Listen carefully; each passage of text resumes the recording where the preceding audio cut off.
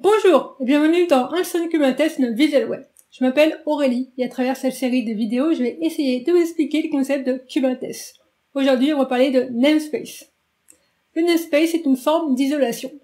Cela vous permet d'isoler vos applications par projet, équipe et en famille de composants, par exemple. Les noms des ressources doivent être uniques dans un namespace mais pas dans d'autres namespaces.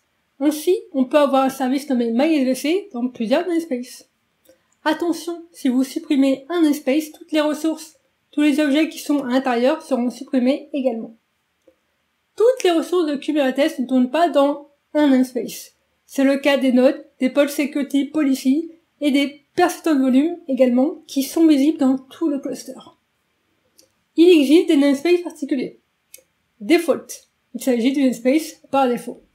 Kubesystem. Il est consacré aux objets créés par Kubernetes lui-même. Kubepublic.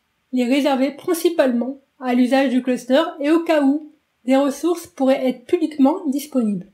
Et Kube Node List, dans lequel on peut trouver des fichiers nécessaires au heartbeat des nodes, des petits fichiers qui permettent notamment de voir si un node est vivant ou pas. Passons à ma partie préférée, nous allons voir quelques commandes disponibles avec la CLI de Kubernetes qui est kubectl.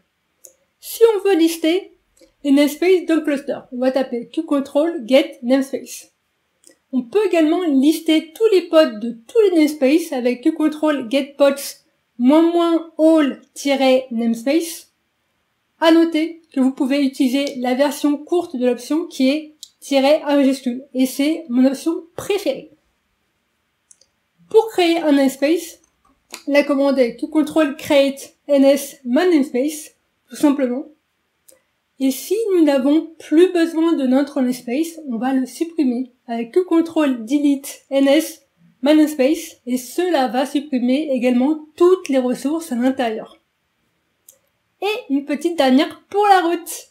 On peut lister les types de ressources qui sont dans un namespace en tapant kubectl API ressource-namespace égale true et en passant le booléen à false, on obtient les ressources qui ne sont pas namespace isées. J'espère que cette petite vidéo vous a plu et que cela vous a donné envie d'en savoir plus. Merci et à la prochaine, j'espère, sur la chaîne.